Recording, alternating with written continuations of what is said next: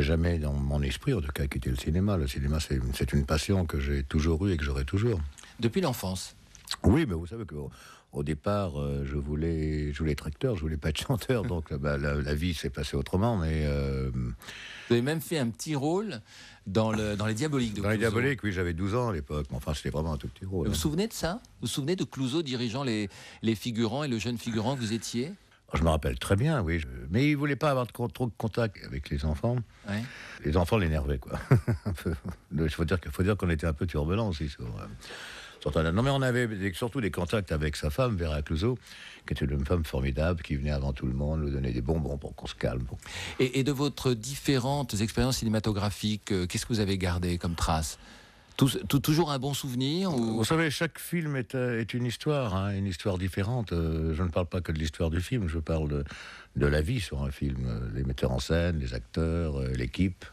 on a toujours tendance à parler des acteurs, des metteurs en scène. On ne parle pas malheureusement assez des équipes, mais c'est vrai qu'un film ne se ferait pas non plus sans les équipes, euh, le chef opérateur, entre autres, les, machinistes.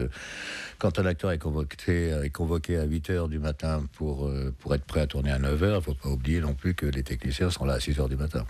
Ce sont, ce sont eux qui font le plus gros boulot quand même. Et vous êtes, vous êtes comment sur un plateau? Parce que c'est une ambiance, bien évidemment, c'est peu de le dire, extrêmement différente de, celle de la préparation du Stade de France. Ben, vous savez, il y a une chose qui est quand même assez différente, c'est que quand je fais un spectacle, je suis mon propre euh, patron. Euh, c'est moi qui produis mais enfin qui coproduit mes spectacles avec euh, Jean-Claude Camus. Euh, donc c'est moi qui en ai la responsabilité. Et quand je fais un film, euh, c'est pas moi qui ai la responsabilité du film, c'est le, le, metteur en scène, c'est lui qui fait son film. On est plus tranquille, hein On est plus tranquille. Oui, on est, on est, oui, enfin, oui et non, parce que quand on, des fois, c'est vrai qu'on lit un scénario entre le moment où on le lit, le moment où on le joue et le moment où on l'a vu monter. Euh, le film, très souvent, le film n'est plus le même parce qu'on a tourné des scènes qui ont été coupées, le metteur en scène jugeant que le film est trop long ou que telle scène est trop longue. Alors, il y a carrément des scènes qui ont été coupées. Et on s'est dit, tiens, on a tourné ça, mais pourquoi c'est pas dans le film?